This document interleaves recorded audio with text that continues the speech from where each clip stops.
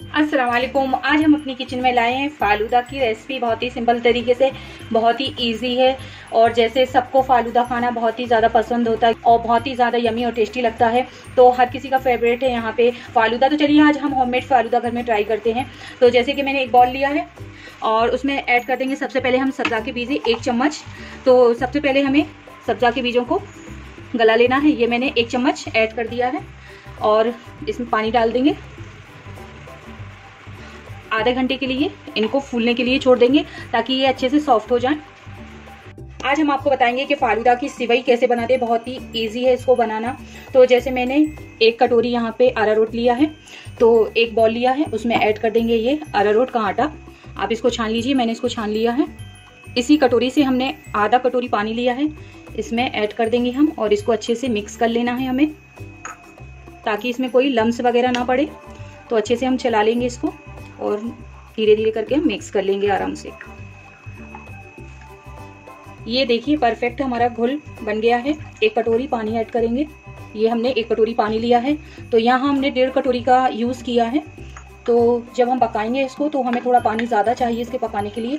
ये देखिए, हमारा बैटर बनके तैयार होगा सिवई का। बहुत ही इजी रेसिपी है। आप इसको बहुत ही आराम से फालूदा की सिवई आप घर में बना सकते हो और घर में बैठकर एंजॉय कर सकते हो इसको। तो ये देखिए चलिए, ये हमारा पेस्ट बन के रेडी हो गया है सिवई का। देखिए, हमने पैन लिया है और गैस का हमने फ्लेम लो रखा है। ये जो आरा रोट का हमने पेस्ट बनाया था, इसी में ऐड कर देंगे हम। ये देखिए, हम इसको मिक्स करते जाएँगे और चलाते जाना है, ताकि इसमें कोई लम्स वगैरह ना पड़े और जो भी प्रोसेस है, हमें जल्दी जल्दी करना है।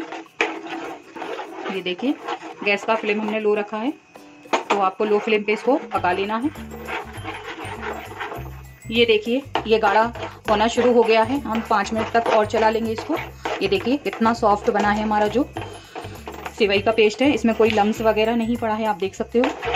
तो दो मिनट और हम इसको अच्छे से पका लेंगे। बस ध्यान रखना है आपको, गैस का फ्लेम हमें लो रखना है। और बहुत ही इजी ये रेसिपी है, सिवई बनाना। अगर आप एक बार बना लेते हो तो एक हफ़्ते तक आप पानी में, ठंडे पानी में डालकर स्टोर करके रख सकते हो।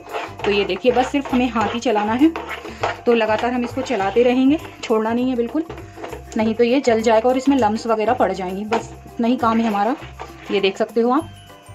ये कितने अच्छे से, देखिए, ये हमारा जो पेस्ट है, वो पक गया है। ये देखिए, सेवई का जो पेस्ट है, वो बन के रेडी हो गया है। आप देख सकते हो कितना स्मूथ बना है। बस इसी स्टेज पर हम गैस का फ्लेम बंद कर देंगे। और इसको जो भी प्रोसेस हमें करनी है, सिवई बनाने के लिए, वो हमें गर्म ही गर्म में करना है। अगर ठंडी हो जाएगी, ये तो हमारी प्रोसेस नहीं होगी, सिवई नहीं बनेगी। तो चलिए, अब इसको हम सिवई बना लेते हैं इसकी। ये देखिए रेडी हो गया। ये पेस्ट हमारा बन के रेडी हो गया है। अब क्या करेंगे, हमने ये सेव मेकर लिया है। इसे सेव वगैरह बनाते हैं। सिवई बनाते हैं। तो आप मार्केट में इजीली मिल जाएगा तो इसको जो पेस्ट है, इसमें ट्रांसफ़र कर देंगे। गरम ही गरम करना है आपको। छोटे छेद वाला जो सांचा है, वो हमने ऐड किया है इसमें। हमें सबसे छोटा वाला सांचा चाहिए, सेवई बनाने के लिए बारीक सुराख वाला। ये भी हम इसी में ट्रांसफ़र कर देंगे। जल्दी से, बहुत गर्म हो रहा है। एक ही बार में हम पूरा जो मिक्सचर है, वो सब इसी के अंदर ट्रांसफ़र कर देंगे।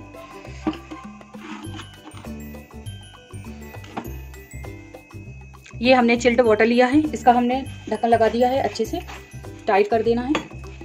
तो चलिए अब हम सिवई बना लेंगे। तो ऐसे हमें चलाते जाना है। ये देखिए। आप देख सकते हो। ऐसे ही हम सिवई बना लेंगे अपनी फालूदा की। बहुत ही इजी है इसको घर में बनाना। ये देखिए, हमारी सिवई बन के रेडी हो गई है।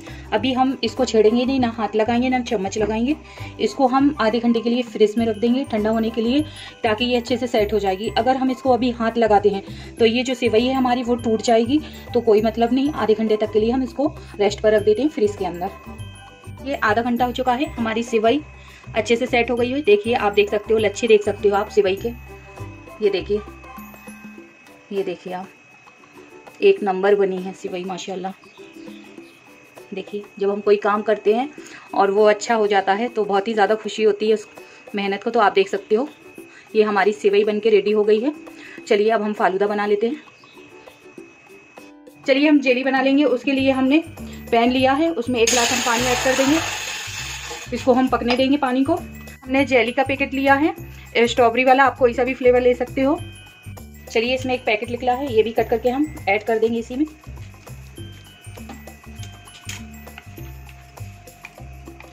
इन सब चीज़ों को हम अच्छे से मिक्स कर लेंगे। ये देखिए, ये भी हमारा बॉईल हो गया है। गैस को कर देंगे बंद। ये पानी हम चैली में ऐड कर देंगे। ये देखिए, और अच्छे से हम मिक्स कर लेंगे जेली को। इसको हमने अच्छे से मिक्स कर लिया है। अब इसको ठंडा होने के लिए रख देंगे। फिर आधे घंटे के लिए इसको फ्रिज में रख देंगे सेट होने के लिए। देखिए, हमारी जेली रेडी हो गई है और अच्छे से सेट हो गई है। आधा घंटा हो चुका है। अब इसको कट कर लेंगे ये देखिए, हमने कट्स लगा दिए हैं। अब आपको हम निकाल के दिखाएँगे। ये ये देखिए, ये हमारी परफेक्ट जेली सेट हुई है। आप देख सकते हो।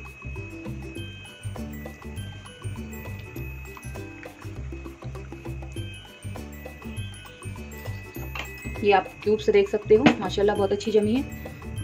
ये देखिए। फालूदा बनाने के लिए हमने आधा केजी दूध लिया है, चिल्ड दूध है ये। इसमें ऐड कर देंगे हम आधा कटोरी ये पिसी हुई चीनी और अच्छे से मिक्स कर लेंगे इसको। अच्छे से चला लेना है हमें और दूध को हमें ठंडा लेना है। चीनी हमारी मिक्स हो गई है। तो चलिए अब हम फालूदा बना लेते हैं। फालूदा बनाने के लिए दो हमने ग्लास लिए हैं, इसको थोड़ा सा रू अफ़ज़ा से सजा लेंगे।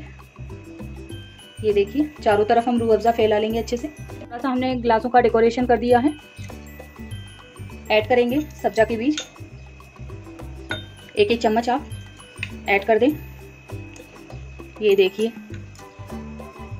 सेवई ऐड करेंगे। होममेड सेवई है, ये हमने आपको बताया है ना? घर में ही रेडी की है। ये देखिए। ये देखिए, आप देख सकते हो कितनी लंबी लंबी बनी है हमारी सेवई। ऐड कर देंगे।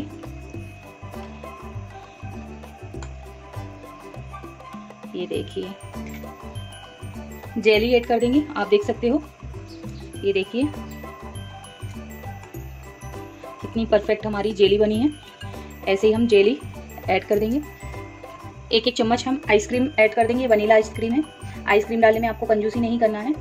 ये देखिए, ये मैंने पैकेट लिया है तो आप भी एक ऐसा पैकेट ले सकते हो। ये देखिए। अब इसमें ऐड करेंगे हम रू अफ़ज़ा ये देखिए।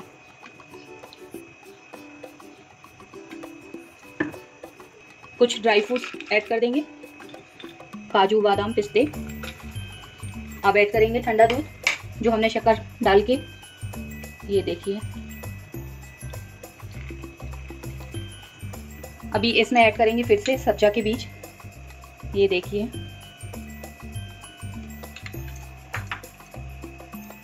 सिवई।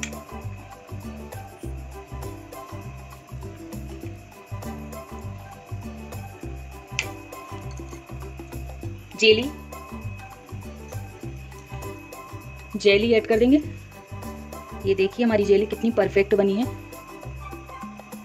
आइसक्रीम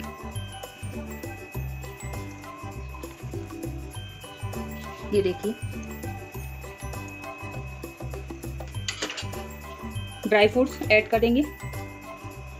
आप देखिए। इस पे भी हम सेट कर देंगे थोड़े से ड्राई फ्रूट। ताकि लुक बहुत अच्छा आए। ये देखिए, थोड़ा सा रू अफ़ज़ा ऐड कर देंगे लुक के लिए। ये देखिएगा। ये देखिए, हमारा फालूदा बनके रेडी हो गया है मेरी स्टाइल में।